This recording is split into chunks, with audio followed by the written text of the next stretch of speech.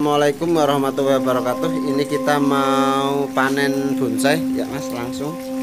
Uh, pilih daun yang benar-benar tua dulu. Tipsnya daun harus tua akar banyak dulu. Setelah itu daun tua. Ya ini kita akan memilih uh, beberapa yang sudah jadi. Yang penting untuk pemangkasannya ingat daun harus tua. Jangan sampai daun muda kita potong nanti akan terjadi layu pemulihannya lama stres. Ini ini batangnya sudah sebesar uh, apa lengan lebih. Ini mas sini nah, ini akar sudah banyak ini. Nah ini. Perakaran ini sudah keliling ini sudah tua. Lihat bentuknya mas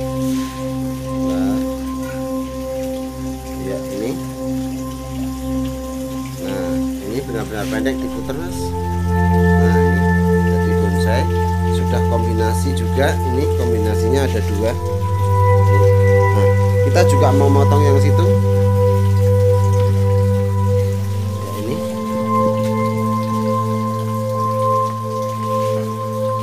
Ini kita perlihatkan. Nah ini. Oh, batang besar tetapi cabang banyak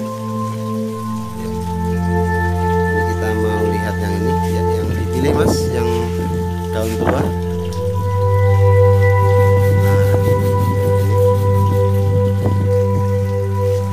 ini yang himpit akar ini. Ini yang kecil himpit akar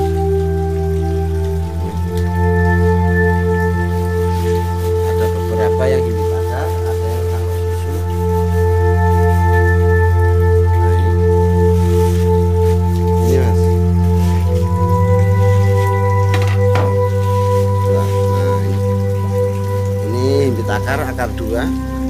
Kita mau lihat uh, akarnya. Ini juga banyak.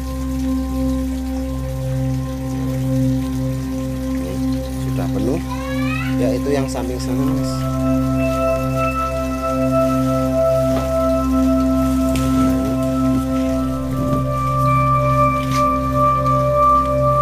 Kita harus memperhatikan kondisi daunnya harus benar-benar tua nanti uh, karena biasanya kalau akarnya banyak ini terjadi media kering.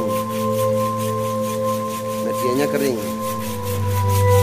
Ini kita mau coba uh, kasih tips biar teman-teman bisa langsung menyimpan uh, dengan waktu yang cukup lama. Pernah kita coba satu minggu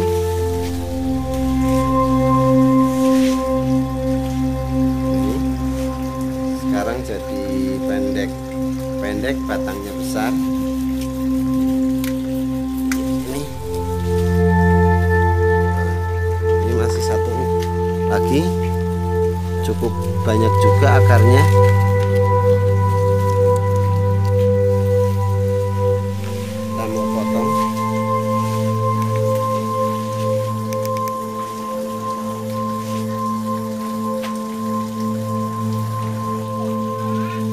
ini kita juga mau potong yang besar. Ini jadi benar-benar nanti jadi bonsai eh, satu pohon jadi beberapa tabu lampot bonsai. Itu ada tiga. Yang batangnya besar-besar mungkin satu ini apa? E, pergelangan kaki betis. Ini ya sini mas. Nah, tidurkan coba mas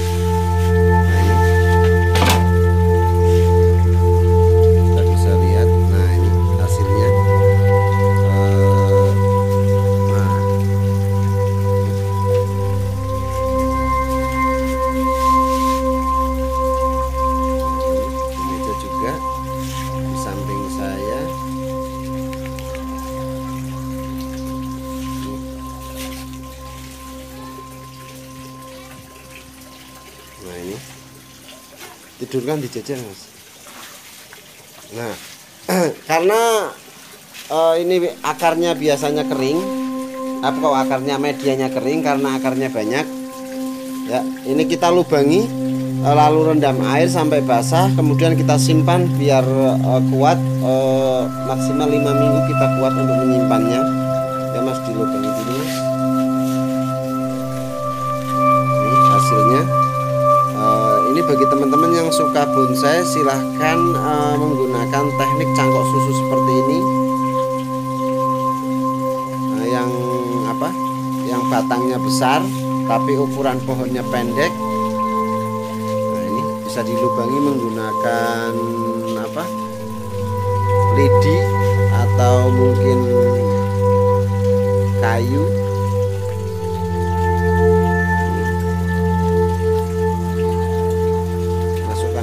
aja nanti ini ya ini dilubangi seperti ini biar masuk. Setelah direndam nanti direbahkan posisi tidur. Sampai kuat lima hari. Nggak masalah dari diganti media. Kita bisa pengiriman juga seperti ini. Ya ini semuanya mas. Sampel aja dulu satu mas. Itu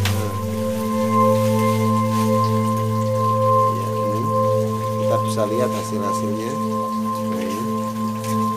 kita rendam ke, ke kolam ikan uh, biar sampai penuh medianya basah. Untuk persiapan nanti uh, simpan lima hari kuat. Semisal uh, kita nyangkok di daerah mana uh, perjalanan bisa sampai sampai berapa hari kuat. Sampai uh, penuh kalau ini potong cangkok bonsai ini memang kita tidak kurangi rantingnya. Karena hmm, ukurannya satu pendek batangnya besar jadi kita bisa kasih akar banyak. Jadi insya Allah tidak uh, apa uh, tidak terjadi stres yang terlalu berat. Ya mas ya ini mas. Nah ini sudah basah ini akar akarnya kelihatan. Nah ini. Kita simpan uh, posisi tidur. Simpan dulu. Ya. ini mau dimasukkan kolam. Dilubangi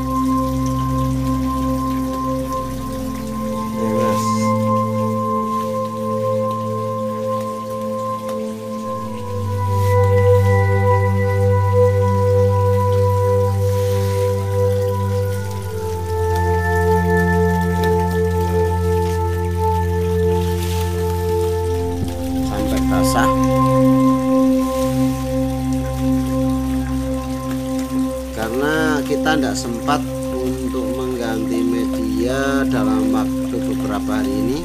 Makanya kita mau simpan. Itu yang pernah kita coba itu satu minggu kuat batangnya besar-besar.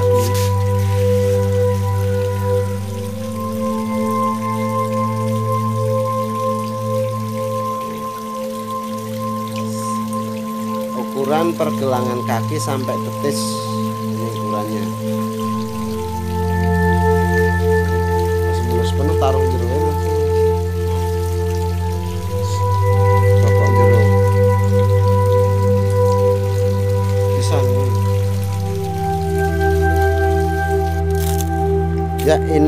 kita juga punya lagi simpenan kombinasi. Ya potong mas. Ya ini yang sudah dikombinasi. Ini. Nah, nah.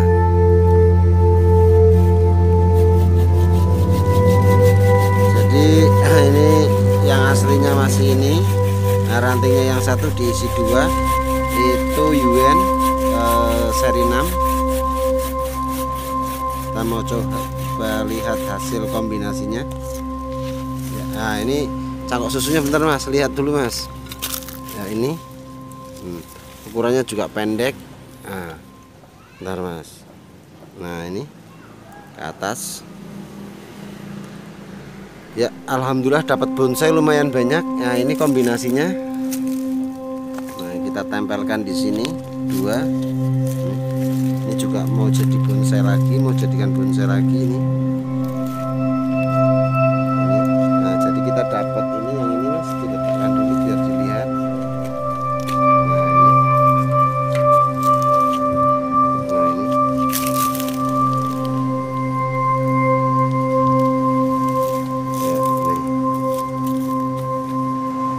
Ya, ya tipsnya memotong cangkok susu ini akar banyak uh, agak tua akarnya daunnya mudah hampir semua. Ya durian ya mangga ya alpukat semuanya biar tidak terjadi stres. Apabila untuk disimpan uh, kurang lebih satu minggu atau berapa hari kita basahin dulu biasanya. Untuk uh, kokopitnya ini kalau akarnya banyak dia kering makanya kita basahin dulu uh, tidurkan. Nanti baru kita ganti uh, dengan media. Ya terima kasih. Semoga bermanfaat. Untuk teman-teman yang sudah uh, mempraktekkan cangkok susu semoga berhasil. Assalamualaikum warahmatullahi wabarakatuh